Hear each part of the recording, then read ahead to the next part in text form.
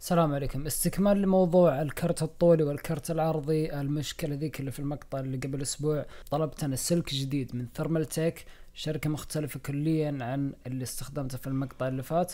وأبشركم ما شاء الله يا أخوان انحلت المشكلة بشكل كبير يعني. قدامكم باتلفيلد 5 ultra نفس الاعدادات 2K.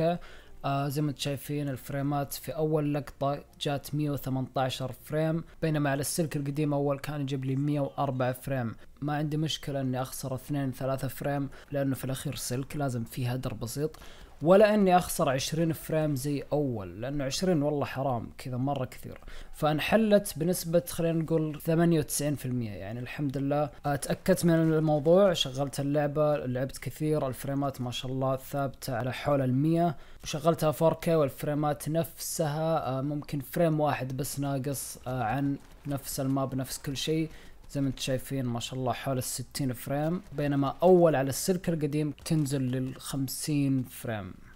ويتشر بان فيها الموضوع ذا بشكل كبير شايفين قدامكم 89 90 frame. نفس لما يكون مشبوك الكرت بشكل على ال motherboard تقريبا أقل بفريمين إلى أربعة. آه بينما أول على السلك القديم تذكروا توه كان نفس ذي الاعدادات نفس ذا ال map كان يجيني 75 frame يعني آه حرام تقريبا 20 frame طارت. نفس الكلام تأكدت على 4K ما شاء الله الفريمات آه، زي لما يكون مشبوك على ال motherboard. أقل بفريمين نفس الموضوع تقريبا يعني بدل ما تكون خمسين واحد وخمسين تنزل للثمانية وأربعين تسعة وأربعين. آه فما عندي مشكلة أعيد وأكرر أن أخسر فريمين ولا أخسر عشرين frame على السلك القديم فاتضح أنها مشكلة سلك.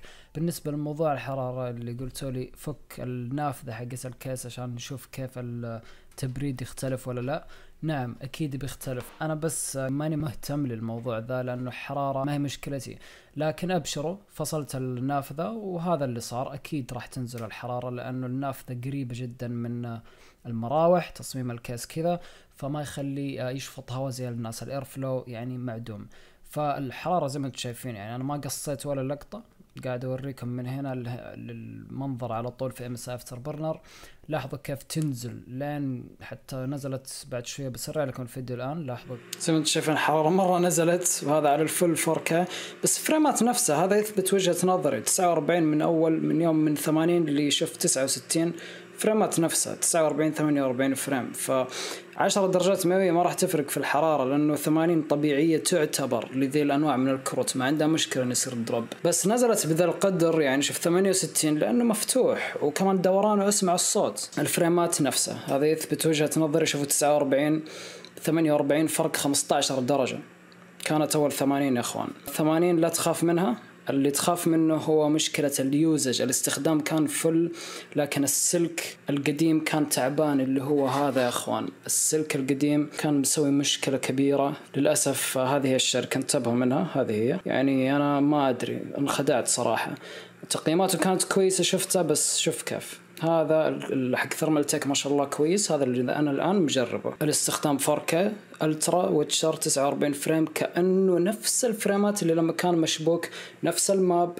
قبل شوي شفت Battlefield نفس كل شيء ما شاء الله. الحرارة نعم بسبب إنه القزاز جاي هنا فما في متنفس إنه يسحب هواء ممتاز.